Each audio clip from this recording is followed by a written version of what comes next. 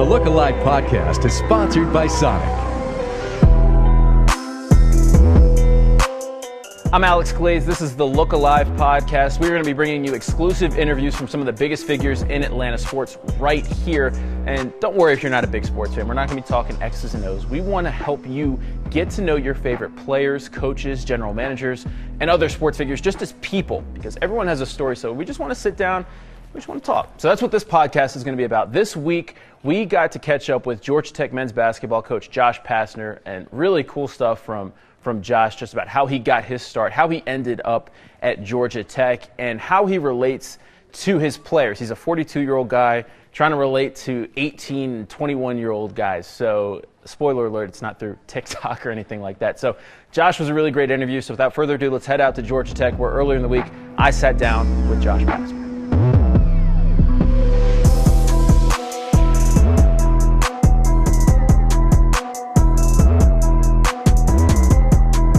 Joining me now, we got Josh Pastner here, Georgia Tech basketball head coach, getting into your fourth season. How's it going?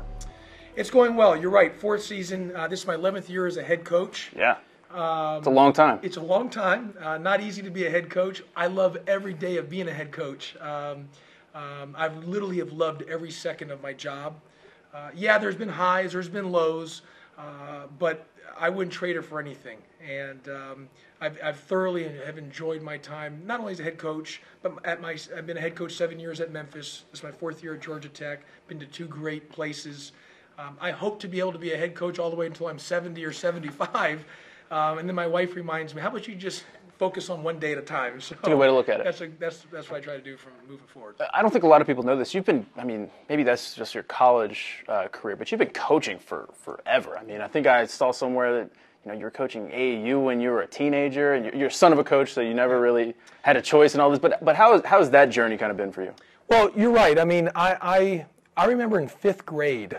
I remember I was watching the Lakers Celtics on one of the national networks, and I remember turning to my dad and saying, if I want to stay involved in the game of basketball, and if I can't play in the NBA, I said the next best thing to playing is coaching.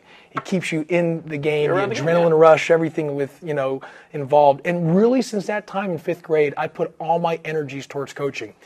I still worked my tail off to try to one day play in the NBA. Obviously, I recognized my parents' size was not going to, and their DNA was not going to allow me, based on my athleticism, wasn't going to allow me to play in the NBA. But uh, um, uh, so I really put a lot of my energy. And you're right, I was coaching as a 16 year old, a 17 year old, people who were older than me.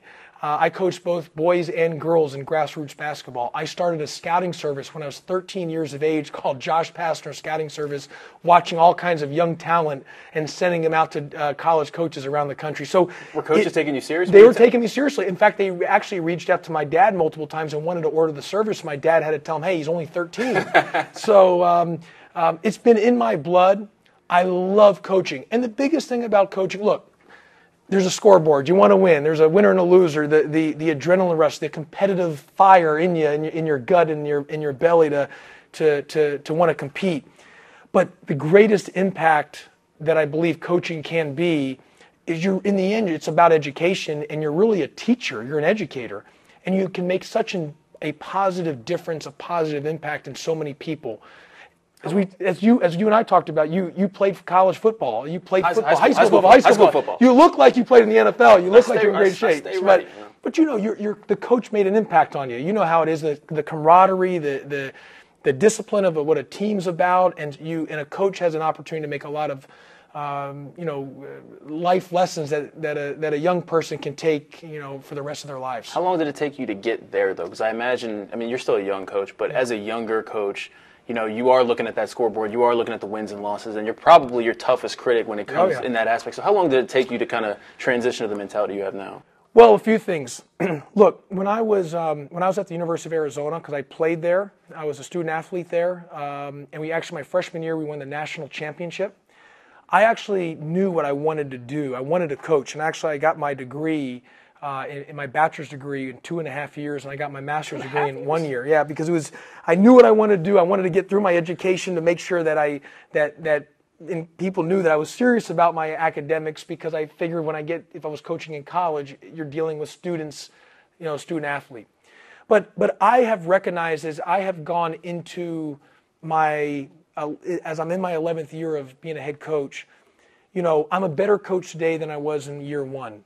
And part of that is understanding uh, that the it's a long season. Yes, there, like you said, no one's a harder critic on themselves than, my, than me. Nobody wants to win more than I do. Um, but I've tried to be have better balance. I can remember starting out early in my career where it was just like life or death on every single possession, every single game. I've tried to be better with a better balance and a better outlook. And that just comes with experience on, on, on understanding that it's a long season, it's a lot of possessions, um, and seeing the big picture along the way as it, as it goes. I want to kind of go to something you said uh, after the Duke game, um, real quick, kind of along those yeah. lines you know, you said, you know, we don't have the five star guy here, but you want to develop five star people, right. players, you know, people in general. Just what does that process look like? And, you know, the kind of guys that you're bringing into tech, that aside, what is it going to take to get that five star guy here? Well, look, our, our, objective is to recruit the best players that we can get. Uh, it's not an X's and O's game, it's a Jimmy's and Joe's game. I mean, it's a player's game. You're going to win with great players we want to get the five star recruit, and we're going to work our tail off to get the five star recruit. Um, I'm also a realist that we haven't signed that five star recruit, that, that, that program changer based on recruiting rankings. So I have told our staff in order for us to be successful, if we're not getting that initial five star recruit, we better have five star development in everything that we do with our guys on and off the floor. And, and that's what we've done. I, I, believe all of our guys that have come through this program have gotten better on both on and off the floor. But obviously, for the fans to see, they're they're watching the product on the floor, and you can see the development of guys getting better. I've hired good coaches as my assistants who are really good floor teachers. They all can really teach and coach on the floor. And, and that's been a big, that's an important part of us having five star development. But look, we're going to fight and scrap and kick and claw our way in recruiting because we do want to get those elite guys. Now they've got to fit the model of what Georgia Tech's, you know, of what, what the mission of Georgia Tech, and sure. and it's got to be the right fit for us basketball. We got to be the right fit for them. So it's got to be a, it's got to be a, a, a, a good combination from all parties. But um, look, I, it's a personnel game. I mean, you got to get the right players. You got to get the best players. And a lot of it in recruiting is not just the recruiting ranking. A lot of it's about evaluation. Sure. Because as you know, sometimes guys can be ranked at certain rankings. Who's doing the ranking? But it, but and or the guy who's maybe lower ranked, he has a chip or an edge on his on his shoulder. Right. That he's going to fight and compete, and he has no entitlement, and he's going to do whatever it takes to find a way to survive and, and have that grit and grind to be successful. And those guys that have that grit and grind and competitive fire, competitive excellence, that internal drive to be so great are the ones that you're going to be very successful with on and off the floor. Sounds that sounds great. When you see a guy like Anthony Edwards up at, at Georgia, and you know Georgia is another program that doesn't get those five star guys typically. When you see that, does that light a little extra something under under you a little bit? Yeah, I mean, look, I mean, we, we recruited Anthony Edwards. We were there very early in his recruiting process. Uh, we were the first one to offer him. Uh, we were there at his at his initial high school, and we had recruited the heck out of him. And we wanted Anthony Edwards. Um, but I understand. Look, I think Coach Crean's a great coach. Um, and he's been very successful, you know, at Marquette, at Indiana, and he's and he's going to do a great job at Georgia. So I understand Anthony Edwards has choices to make, and he and he chose Georgia. Uh, and and so for us, you know, it wasn't obviously uh, it, he didn't decide to come here, and we didn't get him, so we've got to move to the next guy, and and uh, we'll continue to recruit those type of guys, um, and eventually we'll get a guy like that. Um, but in the short term, if we don't have a guy, we got to get guys like the Josh Okogie's, yeah. who turned into in two years was a was a top twenty pick in the draft, and we got to keep getting guys who are really talented and that we can continue to develop them. And along that way, we just need maybe that that that five star recruit, that elite recruit that says, "Hey, I I, I want to come to to Georgia Tech." However, I want the fans to understand this. We I don't get wrapped up in recruiting rankings. People could say, "Well, that kid's a five star," but for my evaluation, I don't think he plays hard enough, or I don't think he has that competitive fire and burn to get us to the next level. So it's it's to me an elite recruit is a guy that is just so driven with the talent and he's so hungry with that chip and edge on his shoulder. looking for that chip. That he's going to find that when we line up in that, you know, when we line up in that in that national anthem, that sweat's coming down and they're ready to go for the jugular vein against their opponent. Jose Alvarado Mm-hmm. has that. Now, if you look at Jose's recruiting ranking, he's a three-star guy. But, you know, I would take Jose over anyone any day of the week. Now, a, a five star would be have that same that's where, we're winning matters more to Jose than actually breathing. I will take a five star guy if he has that, and a five star guy that might say, well, what does that look like? Maybe he's six six point guard that has the same attributes mentally as Jose. That's what a five star guy would be based on recruiting rankings. So we're going to continue to find the right guys, and we're going to recruit the heck out of guys, and that's just kind of what we're going to be. But in the end, we got to go get the job done on the floor Absolutely. and win games. Absolutely. I want to talk a little about your team. What Yep. what is how would you describe your team if you had to just give me one word? Motor. Um, uh, I really think our team has a good motor, um, and, I'm, and, and we have gotten better. Um, and so I believe in the word motor. And what's motor? Motor is 100% effort 100% of the time. Now, there's been segments earlier in the year that we didn't meet that standard of motor, but as of late, we have become a motor team. The key is going to be can we continue that game in, game out, possession in, possession out, understanding that, as I call it, E EPIP. EPIP. Every possession is precious. And not, and it's, it's hard for an 18 to 22 year old. You remember when you were playing high school football that, that uh, can I, you know, this possession is it, that isn't, you know, it's first quarter, I can maybe take a play off because it's maybe, I don't think it's going to affect the game. Well, when you get older and you're a coach, you recognize EPIP. Every possession is precious. The, the possession at the 1750 mark in the first half is just as important as the possession with one minute to go in the game. How do you And drive that? How do you drive that message home? Because you're you're 42, right? Yeah. How do you relate to these 18 year olds and you know speak their language almost? Because you have to meet them where they're at. Yeah, I, I, you know, we do a lot of film work. I think being honest and truthful and, and trying to cut out the gray area and being very black and white um, in a sense of you're saying, hey, here's the deal. This is the truth to what I'm telling you, good, bad, or indifferent. Um, and I think they respect that. And, uh, and, and, you know, guys at that age, people at that age can sniff through um, Sure. things that are, that are uh, fake or trying to be a fraud in a sense. And, and so you got to be who you are. Guys know me. I'm a passionate guy. I'm high octane with energy. I'm an optimist. I'm positive, and I believe in motor. I believe in self motivation. I believe in that drive, and and that's what our guys. The message they hear. I'm a repeater. and I say I'm a repeater, I repeat myself all the time to hopefully they get that message. drilled Never, they will never forget that. when they Yeah. go to sleep at night, I just want them thinking about that. EPIP. That's all they're thinking Yeah. about. Uh, so, for are you like a? Would you say you're a players coach? Or you so?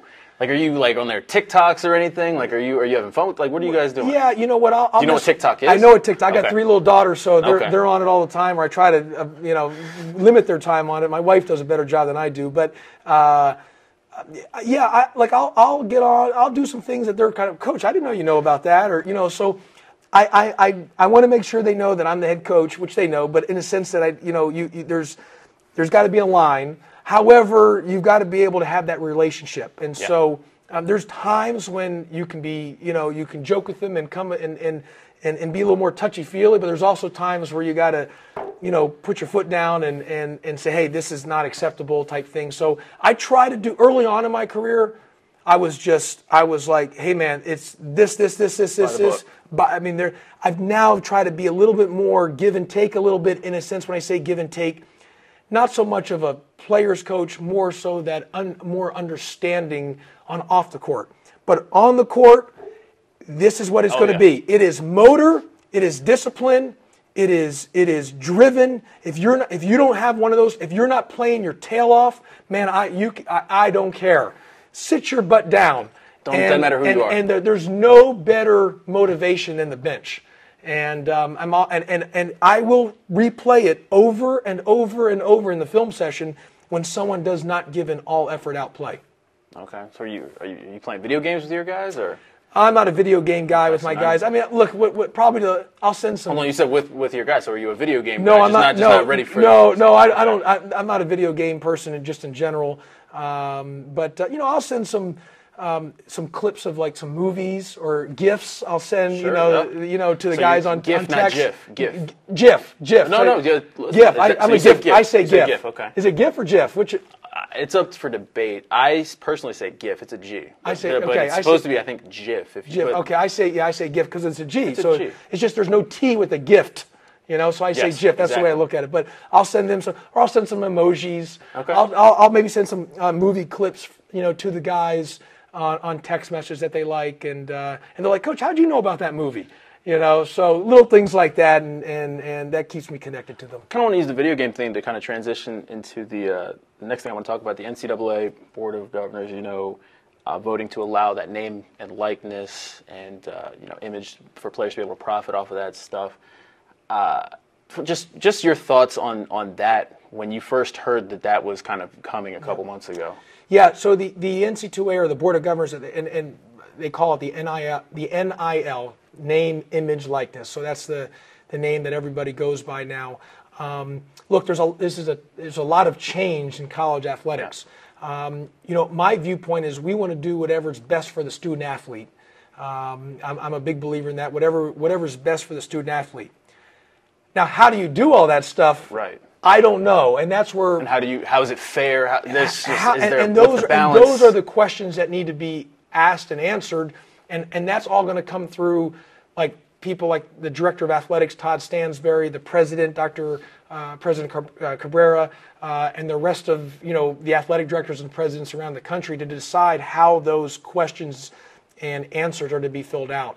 Um, but there's no question from my stance and Georgia Tech stance, we want to do what's best for the student athlete. For you, does that change anything when it comes to you know recruiting and, and I mean, because I just don't know how does that affect you as a Well, you know what? It's interesting you ask that. Um, you know, in the recruiting process, um, because it has not anything hasn't gone into effect just Right. yet.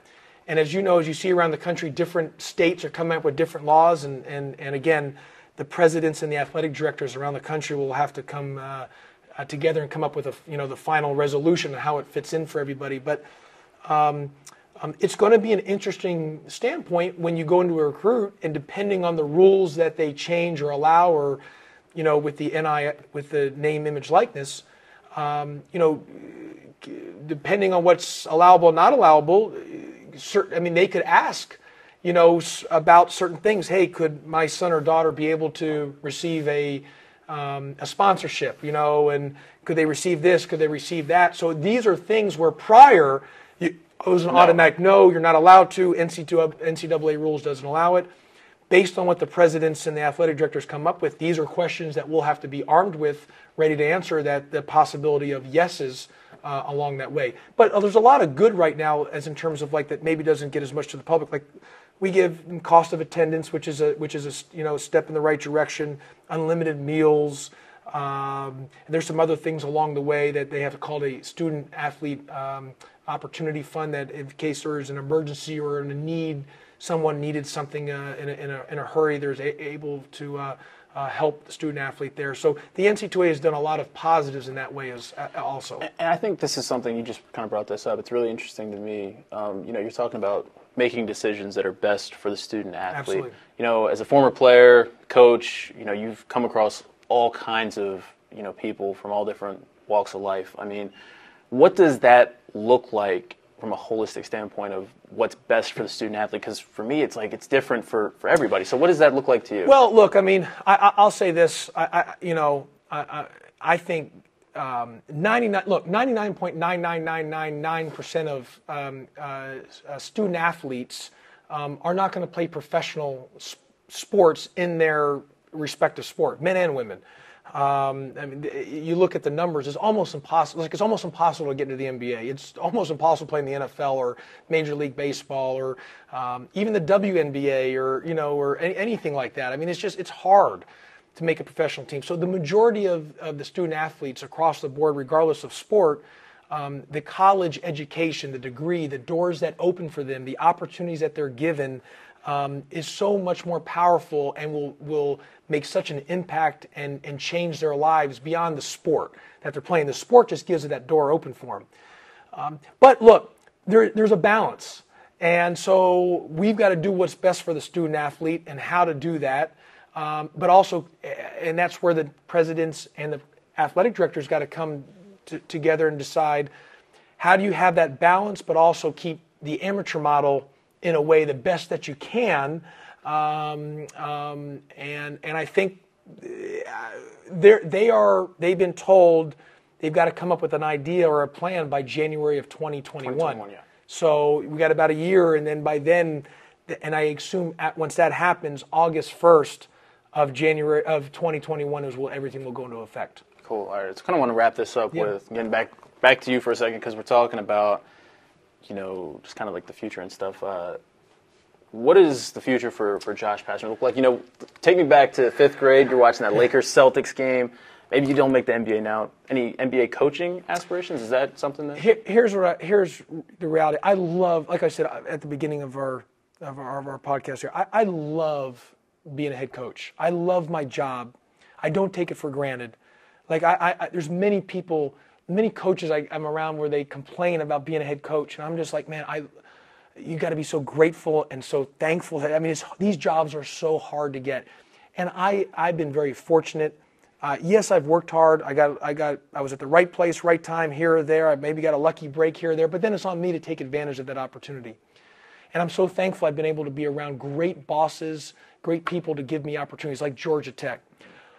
I I would love because I I I would love to get Georgia Tech back to where everybody wants to get it back. And, and, and so um, the drive internally for me is to, is to move the needle for Georgia Tech basketball to get back to being a regular participant in the NC2A tournament, to keep moving up the ladder into the ACC standings. And I would love to be, um, you know, you know, like I said at the beginning, I, I would love to be a head coach till I'm 70 or 75. Um, however, in order for, for me to even get to that point, I literally like my like I believe in. You got to take it one day at a time. And right now, my all my energies, every focus that I have is what can I every waking moment I literally have, and I don't say that lightly. I am being dead serious. Every waking moment I have is thinking about how can I help Georgia Tech move the needle and get us back to where we want to be. Take to vacation, man. I'm every... not, and, and I'm not even, and, and I, and even on vacation, it's hard for me not to think, how do I? And I, you know what? I told our team this recently. I said, I, want to I, want our, I, want, I want us to be at such a championship level of a program. I said, guys, there's many times where, and I said, this is not, I'm not, I don't, this is unhealthy. This isn't good. Many times my daughters are talking to me and I'm there physically, but mentally I'm not listening then because I'm thinking about, man, I, I got to call this recruit. I got to call that recruit. I got to make sure that that how do you, you know, check that? Because that's it, it, it, takes it takes discipline and i got to catch myself at times. I try to do a good job in the mornings to be around my my kids. I, I, I try in the evenings as well too. And i also know that you don't get a do-over in that. You never get a do-over in that. So i've really tried to improve on making sure i'm there presently even though my, my, my, my fire in my belly is burning how do I move that needle for Georgia Tech, and I'm thinking about that, it's, it's just, it's the way I'm wired. And I'm just, because I'm very upbeat, high energy, you know, an optimist, and, uh, and I love, I love, I love being at Georgia Tech, and I love being a head coach at Georgia Tech. I love my job. I love the people I work for, I work with. I love being around the, the student athletes that I'm around of all sports. I love the other coaches. And I mean that, and that's why it just I'm, I'm highly motivated to help Georgia Tech, especially the men's basketball program, move the needle. All right. Well, best of luck to you. Thank you for taking the time hey, sitting down with me. I, I, I, want to see if you got any eligibility left. You know the way you look. I, I, I didn't play in college. Great. I didn't play in college at all. So can you shoot it? Can you shoot it though? Is my I question. I can shoot. I can. Okay. look, I'm a I'm a three and D guy. Okay, there you go. I can't dribble. Don't ask me to dribble. Don't ask me to do anything else. Three and if D. we can, if we can, we can always use three point shooting. All right. There you Appreciate go. it. Thanks yeah, for your time. Thank you. Appreciate it. Thank you.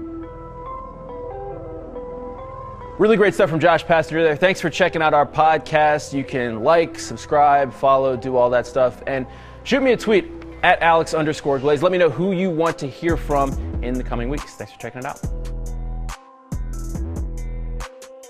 The Look Alive podcast is sponsored by Sonic.